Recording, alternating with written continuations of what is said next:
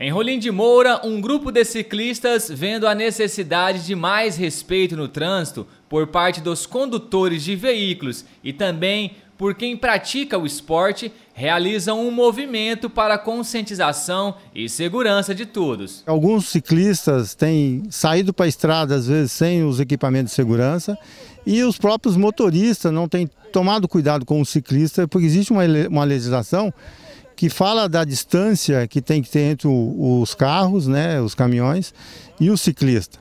Então, devido a essa pandemia também que nós estamos passando nesse momento, a prática da atividade física tem sido muito importante. Nós entendemos que é uma atividade essencial. As pessoas necessitam estar fazendo exercício. Então a gente tem visto que a procura está sendo muito grande.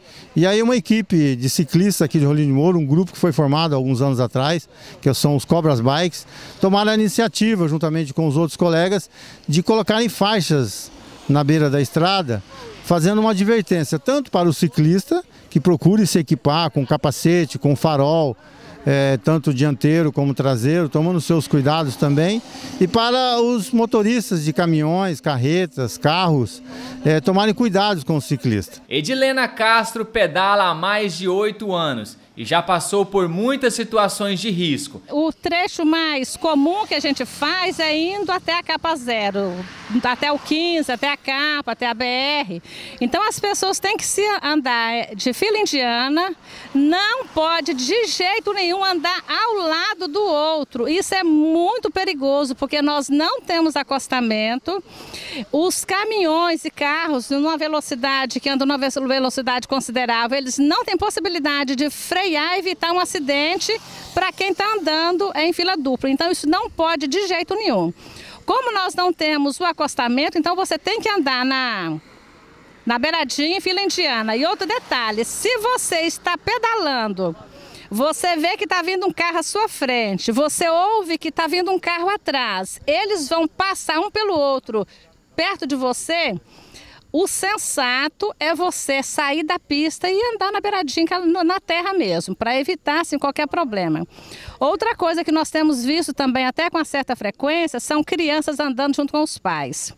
A criança não deveria transitar de bike aqui na CBR junto com os pais. Não deveria, nem junto com os pais. Mas o que é pior, o que tem, o que tem acontecido é que a criança tem andado sem a supervisão do pai. O pai está à frente, a criança está atrás, sem supervisão. O conselho dos mais experientes é direto.